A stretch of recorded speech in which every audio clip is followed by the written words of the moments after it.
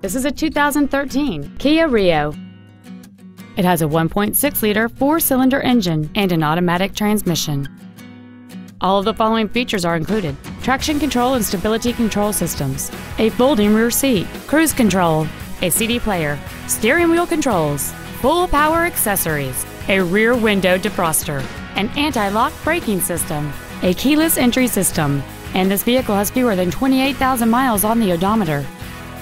Please call today to reserve this vehicle for a test drive.